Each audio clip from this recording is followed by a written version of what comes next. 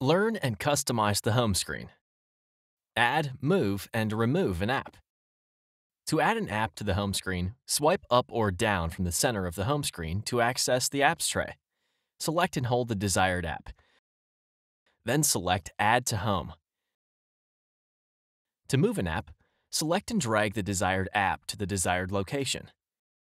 To remove an app from the home screen, select and hold the desired app, then select Remove from Home. To uninstall an app, select and hold the desired app. Then select Uninstall. Select OK to confirm. Change wallpaper. To change the wallpaper, select and hold an empty part of the home screen. Select Wallpaper. Navigate to and select the desired wallpaper. Select the desired display option. Select Set on Home Screen.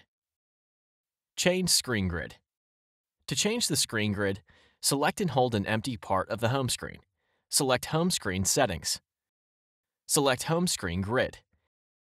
Select the desired screen grid, then select Save. Change home screens. To edit the home screen panel, select and hold an empty part of the home screen.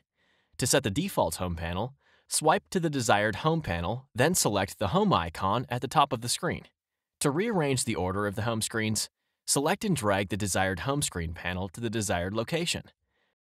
To add a new home screen, swipe right to the Add icon, then select the Add icon.